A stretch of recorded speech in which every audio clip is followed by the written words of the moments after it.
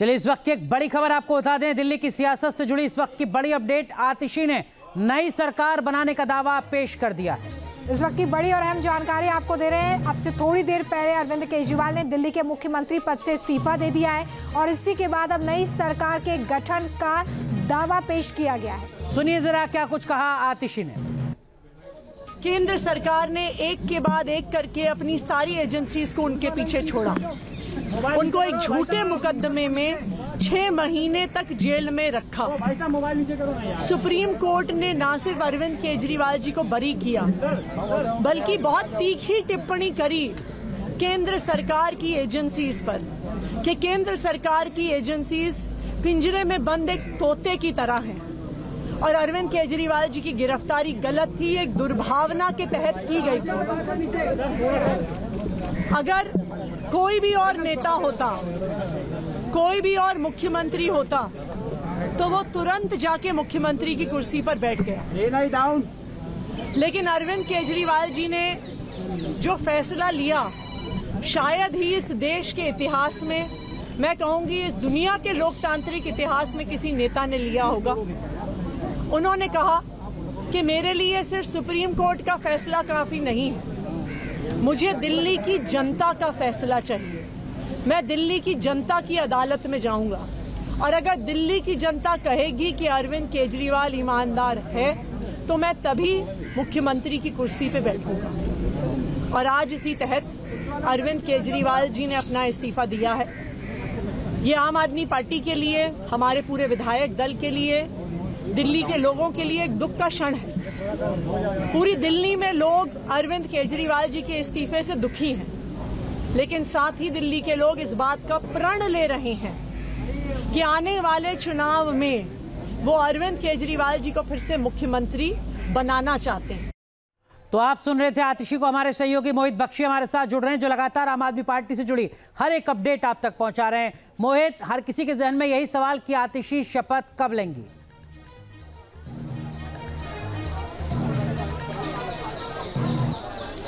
हाँ देखिए क्योंकि अब दावा पेश कर दिया गया है और एक ड्यू प्रोसेस होता है। अनुराग, आप समझते हैं, उसके तहत एमएचए में ये इस्तीफा जाना है, स्वीकार होगा। सारी कार्रवाई जो है, राष्ट्रपति तक जाती है और फिर उसके बाद जो है, उपराज्यपाल दफ्तर पर निर्भर करेगा कि कब नए मुख्यमंत्री के तौर पर आतिशी शपथ लेगी, क्योंकि नंबर्स में कोई दिक्कत नहीं है। नंबर्स पूरे आम आदमी पार्टी के पास है, किसी तरीके का विद्रोह नहीं है, विरोध नहीं है। तो ऐसे में जब समर्थन पत्र मिल गया है तो कब उपराज्यपाल दफ्तर कब कब और कहा? ये दो सवाल है, निर्धारित करता है कि ये शपथ हो। देखिए, मोहित, बेहद महत्वपूर्ण होगा वो समय, जब आतिशी मुख्यमंत्री के तौर पर शपथ लेंगी। और अभी क्या चैलेंजेस आगे दिखाई देते हैं आतिशी के? क्योंकि फ़िलहाल तो ये पूरा प्रोसेस आगे बढ़ रहा है। लेकिन आतिशी जब मुख्यमंत्री पद की शपथ ले लेंगी, उसके बाद क्या चैलेंजेस होंगे?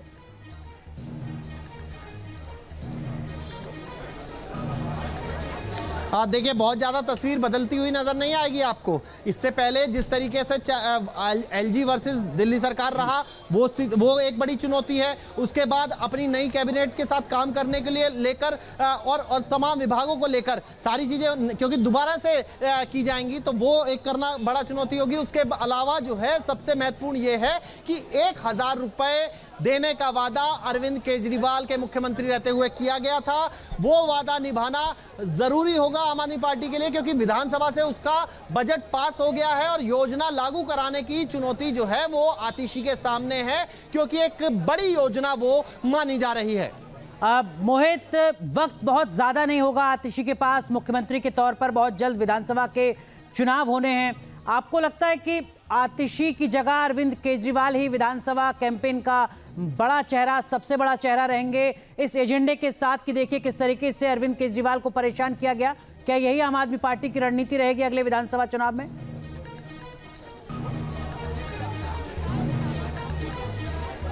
बिल्कुल अनुराग, जिस तरीके से जो आपने एक पढ़ा है, जो रीड किया है, वो बिल्कुल ठीक है। इसी तरीके की स्थिति है। अरविंद केजरीवाल, बड़ा चेहरा, न सिर्फ़ दिल्ली के चुनाव में, उससे पहले हरियाणा चुनाव में, हरियाणा चुनाव में भी ये ज़रूर होता कि अरविंद केजरीवाल, जो कि अभी जमानत पर बाहर हैं, और दिल्ली के मुख्यमंत्री पद की कुर्सी नहीं छोड़ रहे। इसीलिए उन्होंने कुर्सी भी छोड़ दी, जनता के बीच जाने का फैसला भी किया है। हरियाणा चुनाव पर इसका असर पड़ेगा। दिल्ली चुनाव में लीड कैंपेन ही यही होगा कि अगर आपको लगता है कि मैंने भ्रष्टाचार किया है तो वोट मत देना। अगर आपको लगता है मैंने भ्रष्टाचार नहीं किया तो मुझे वोट देना। यही लीड कैंपेन होने जा रहा है। यह आज तय हो गया है। मोहित, एक और सवाल इसी से जुड़ा। क्या इंडिया गठबंधन का हिस्सा कांग्रेस पार्टी, जो आम आदमी पार्टी के साथ है, आपको लगता है कि जो आपसी असमंजस की स्थिति है, वो अब कम होगी? क्योंकि कांग्रेस पार्टी की दिल्ली इकाई लगातार अरविंद केजरीवाल के सरकारी आवास पर सवाल खड़ा करती रही थी। अब केजरीवाल जब पद से इस्तीफा दे चुके हैं तो ना आवास रहेगा, ना कोई ज़िम्मेदारी। कहीं जो कम्युनिकेशन गैप है, दूरियाँ हैं, वो कम हो पाएँगी क्या कांग्रेस के साथ?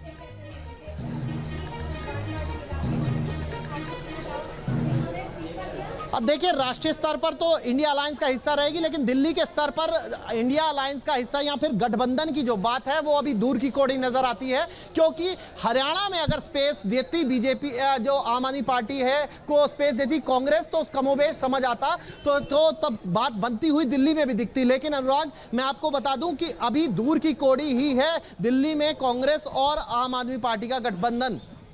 जी। चलिए, रहेगी इस बड़ी खबर पर नज़र। मोहित, आप भी नज़र बना के रखें, आगे भी अपडेट आपसे लेंगे। तो देखिए, ये पूरा जो प्रोसेस है, ये आगे बढ़ रहा है, जिसके तहत आतिशी मुख्यमंत्री पद की शपथ लेंगी। लेकिन इस बीच, दिल्ली कैबिनेट में मंत्री गोपाल राय ने क्या कुछ कहा है, सुनवाते हैं आपको। जेल से आने के बाद दिल्ली के मुख्यमंत्री अरविंद केजरीवाल जी ने यह ऐलान किया था कि जब तक दिल्ली की जनता दोबारा अपना समर्थन दे करके हमें नहीं जिताती है, तब तक हम दिल्ली के मुख्यमंत्री के कुर्सी पर नहीं बैठेंगे। उसी ऐलान के तहत आज मुख्यमंत्री जी ने उपराज्यपाल महोदय को अपना इस्तीफा सौंपा है। साथ ही साथ दिल्ली के अंदर आगे सरकार को संचालित करने के लिए सुबह आम आदमी पार्टी के विधायक मंडल दल की बैठक हुई थी। बैठक में सर्वसम्मति से आतिशी जी को अपना विधानमंडल दल का नेता चुना गया था।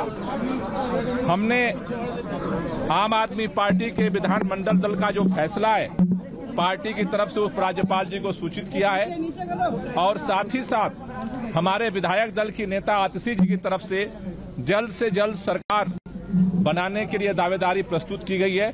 हमने उपराज्यपाल महोदय से निवेदन किया है कि जल्द से जल्द शपथ की तारीख सुनिश्चित की जाए। जिससे कि दिल्ली के अंदर, दिल्ली के दो करोड़ लोगों के लिए जो काम है, उस काम को आगे बढ़ाया जा सके। जेल से आने के बाद दिल्ली के मुख्यमंत्री अरविंद केजरीवाल जी ने यह ऐलान किया था कि जब तक दिल्ली की जनता दोबारा अपना समर्थन दे करके हमें नहीं जिताती है, तब तक हम दिल्ली के मुख्यमंत्री के कुर्सी पर नहीं बैठेंगे। उसी ऐलान के तहत आज मुख्यमंत्री जी ने उपराज्यपाल महोदय को अपना इस्तीफा सौंपा है। साथ ही साथ दिल्ली के अंदर आगे सरकार को संचालित करने के लिए सुबह आम आदमी पार्टी के विधायक मंडल दल की बैठक हुई थी। बैठक में सर्वसम्मति से आतिशी जी को अपना विधानमंडल दल का नेता चुना गया था। हमने आम आदमी पार्टी के विधानमंडल दल का जो फैसला है पार्टी की तरफ़ से उप राज्यपाल जी को सूचित किया है और साथ ही साथ हमारे विधायक दल की नेता आतिशी जी की तरफ़ से जल्द से जल्द सरकार बनाने के लिए दावेदारी प्रस्तुत की गई है। हमने उपराज्यपाल महोदय से निवेदन किया है कि जल्द से जल्द शपथ की तारीख सुनिश्चित की जाए, जिससे कि दिल्ली के अंदर, दिल्ली के दो करोड़ लोगों के लिए जो काम है, उस काम को आगे बढ़ाया जा सके। न्यूज़ नेशन अब व्हाट्सएप पर। खबरों के ताज़ा अपडेट के लिए न्यूज़ नेशन के इस क्यूआर कोड को स्कैन करें।